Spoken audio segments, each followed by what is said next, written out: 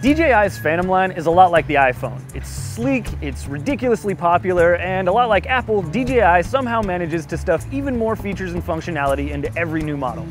Case in point, the new Phantom 4 Pro. At first glance, the P4 Pro looks more or less identical to the Phantom 4, but don't be fooled by the exterior. The Pro model sports a handful of small improvements that, taken together, make it drastically better than its predecessor. Let's start with the new sensors. If you look closely, you might notice an array of little black circles and ovals on the front, back, left, right, and underbelly of the drone. These are the P4 Pro's obstacle avoidance sensors.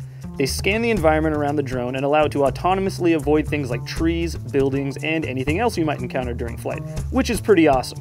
It's not crash proof, but it's pretty damn close. Multi-directional sense and avoid works wonders for your confidence. And that's not even the best part. The Pro uses an all-new video camera with a 1-inch image sensor, which is four times the size as what's used in the original Phantom 4. On top of that, the camera can shoot in 4K at up to 60 frames per second and still images at up to 20 megapixels. DJI also tossed in an aperture control and a mechanical shutter, so no matter how you look at it, the P4's new camera is bigger, better, and more customizable than ever. Now, if that's not enough for you, DJI also offers an even more deluxe version called the Phantom 4 Pro Plus, which is the exact same drone but with a controller that comes with its own built-in touchscreen display.